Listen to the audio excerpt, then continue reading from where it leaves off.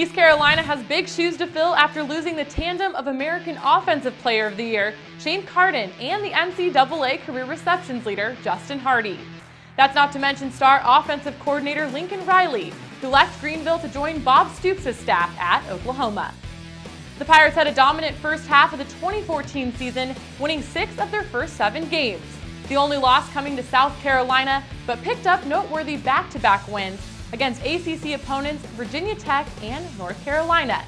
They were number 23 in the first ever college football playoff ranking and remained in the top 25 for four consecutive weeks heading on the road to Temple in the beginning of November, when they were stunned in tough weather conditions by the Owls. Then the purple and gold would suffer late season heartbreakers to Cincinnati, UCF, and then to Florida in the Birmingham Bowl. But it's a new year for the Pirates, a small core group of returners, and quite a few new faces on the field as well. Six-year head coach Ruffin McNeill says goodbye to Captain Carden, but has four three-star QBs to choose from. Sophomore Kurt Benkert battled JUCO transfer Blake Kemp this spring. Benkert appears to have the lead, but Kemp still has a shot, as does 2013 backup Cody Keith. At the wide receiver position, the Pirates lost two of their top three targets, but returned five who caught at least 14 passes. Slot receiver Isaiah Jones will likely step into Hardy's role.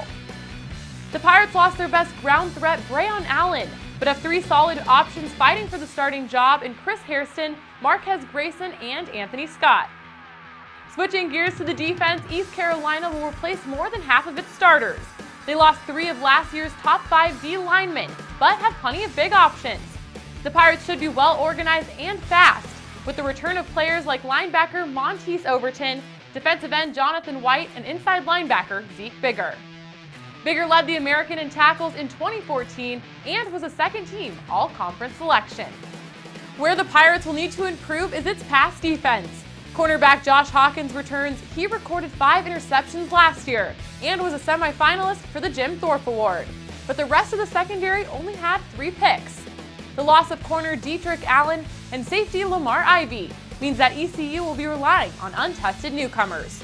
True freshman Corey Surgeon had an impressive spring competing with Hawkins. Taking a look at the Pirates' 2015 schedule, they'll open up against Towson at home before heading on the road for a rematch with Florida in the Swamp. They then open up conference play on the road against first-year member Navy before welcoming Virginia Tech to Greenville. Other highlights on the schedule include playing on the road at BYU, home against Temple, on the road at UCF, and then closing out the regular season in Greenville against Cincinnati. There are definite question marks for the Pirates, but the biggest ones have potential answers. They may not be everyone's preseason favorite for the conference crown, but their recent track record shows they belong in the conversation. Coming up, we have Nate Summers on the phone to get the inside scoop straight from Greenville. Welcome back. We're now joined on the phone by the sports editor at the Daily Reflector, East Carolina beat writer Nate Summers. He's been covering the Pirates the past 11 seasons. Thanks for taking the time to talk to us today, Nate. Yeah, great to be here. All right, so let's start off with the offense. They're obviously going through a lot of changes this season, not only replacing Shane Carden and Justin Hardy, but also the head of the offense, Lincoln Riley. What will the Pirate offense look like this season? Well, I think what they hope it will look like, and, and what they, they have planned, you know, since they they got here, uh, you know, five going on six years ago as a staff, what, what they planned was that when a transition like this happened, that it would be uh, almost not noticeable. So, um, you know, Dave Nichol, the new offensive coordinator, had been groomed and already uh, handpicked by the staff, and including by Lincoln Riley, um, to kind of be his successor. So. Um, that was part of uh, of that plan again to to sort of anticipate the change long before it happens. Um, and, and that goes into the, the change at quarterback as well. Uh, you know, Shane himself was, was groomed into this offense uh, when Dominique Davis was the quarterback those first two years.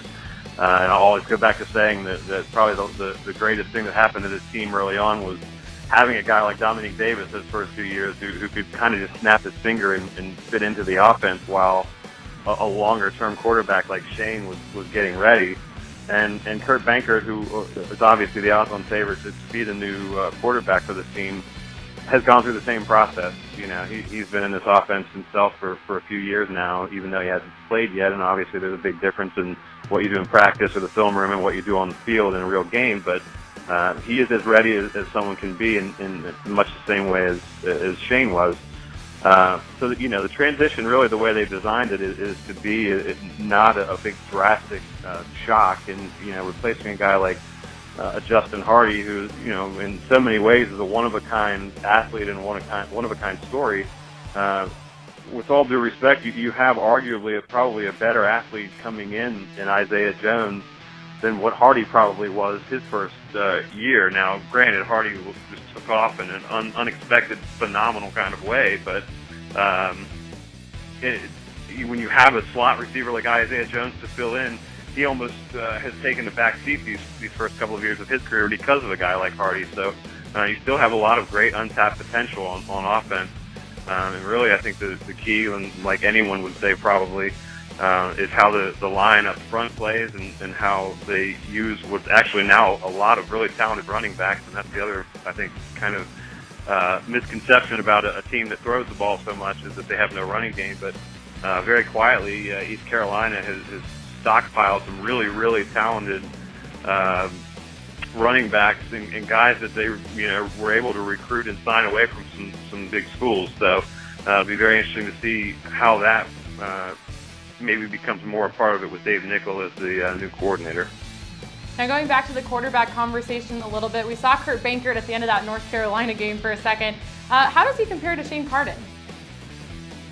Well, it's similar, you know, and, and that again, that that that is the, the thought process when when these guys are recruiting is you know how much how much of these guys fit in already to what we're looking for, and, and, and how much can these guys in, in maybe one or two or even three years uh, be a part of, of what we do. And uh, I think it's very system oriented how they find a guy like Benkert. I mean, uh, I can remember um, when Benkert, uh, literally the day that, that Benkert uh, uh, committed uh, verbally to East Carolina.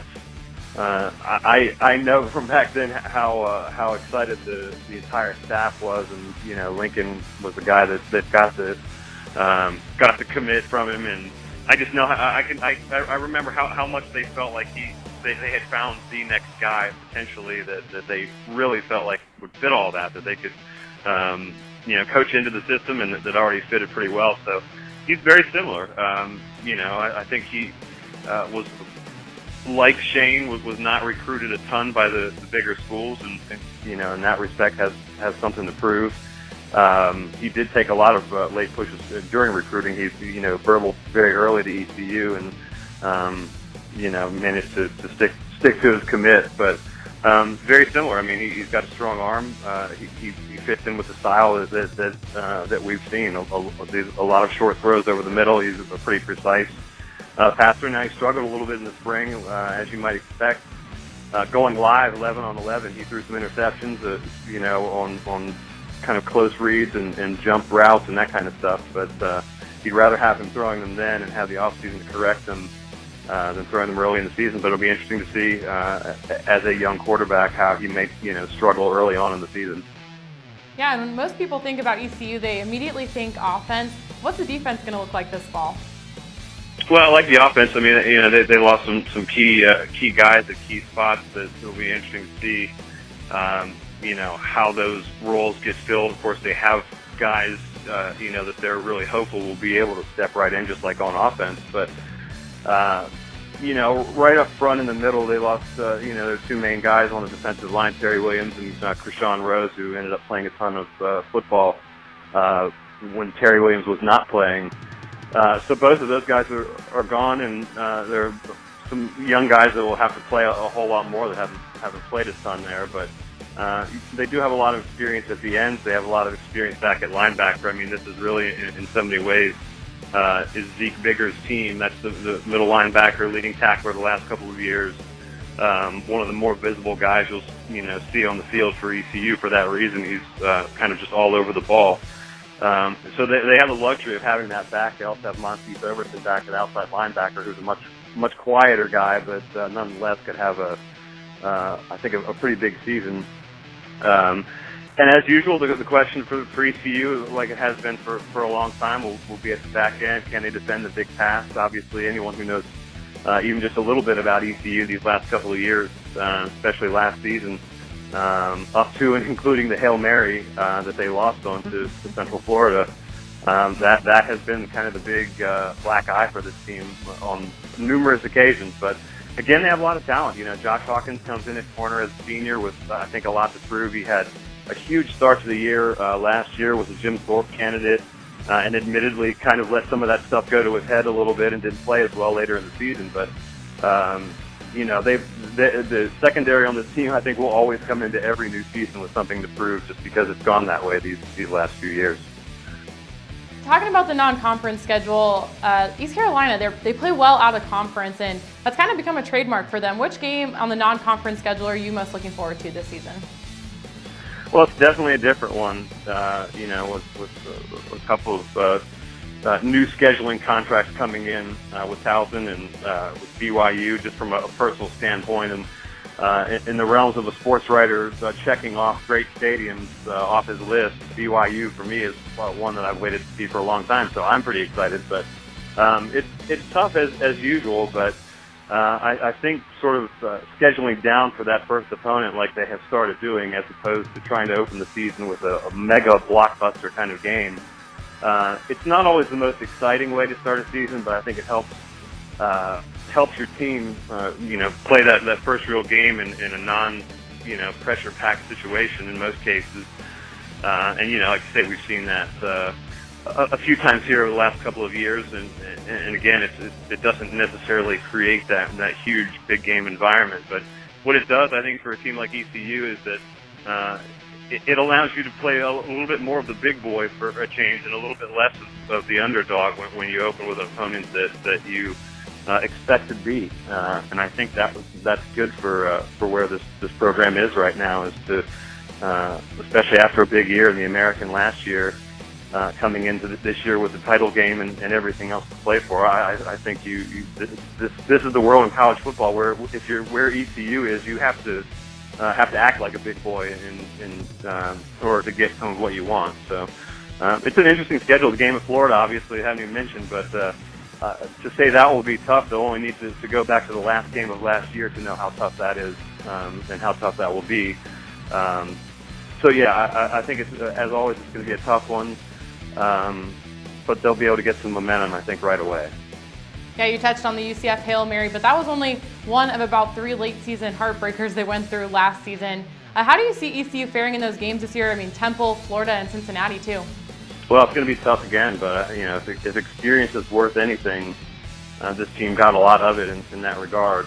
Um, and you know, I, I think that's where where the, the experience thing is uh, sometimes a, a little overrated. Honestly, you know, experience can can sometimes help you in, in knowing how to act in certain situations, but uh, every game being so different, uh, you know, you've got to make different decisions in different key situations in different games. So, uh, you know, I think it's always going to be uh, uh, tough, and it, it's just such a different league, and we knew it was going to be that way. But uh, I think, you know, with the huge Conference USA influence of teams coming in, uh, ECU obviously being one of them, uh, I and a lot of other people wondered if it would just turn into Conference USA and these sort of wide open shootout type of games, but it, you know it really isn't. Even though there were a few high scoring ones, um, you know you, you have to be able to you have to be able to get stops defensively. You have to be able to, uh, and this speaks to what you were saying about those, those heartbreaker games.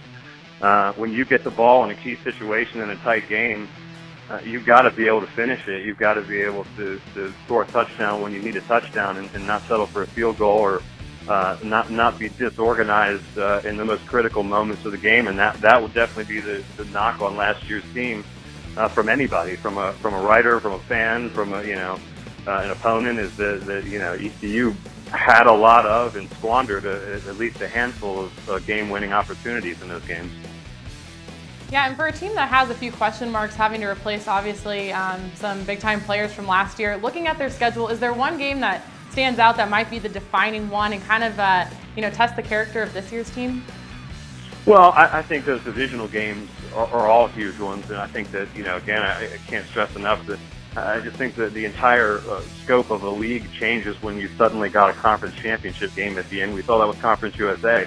Uh, you know, all of a sudden these games become Uh, and, and that goes back to the rivalry development. It was always the biggest challenge in Conference USA. Have all these teams scattered around uh, that, that never really have played each other historically. How do you make rivalries? Well, I mean, that's how the Central Florida ECU rivalry became a lot more legitimate and a lot, you know, a lot less just because they had played before. I mean, you start playing games that count for division uh, titles and possibly for championship game berths, and everybody's your rival at that point, and all the rivalries are real, and uh, that's that's how you get uh, a credible league with you know with real competition that, that people can actually uh, get into uh, if they're not necessarily fans of the league or one team, but.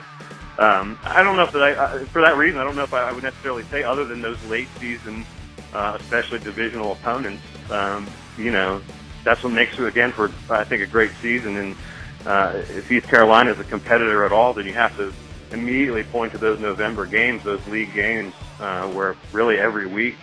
Uh, and East Carolina certainly learned this when they went to Temple and lost last year after you know building a ton of momentum. Uh, that game, you know, that, that one game uh, each year can can really come back and bite you and, and be the difference in your whole season sometimes. Uh, so yeah, I think any game, any league game in November is, is, is a big one.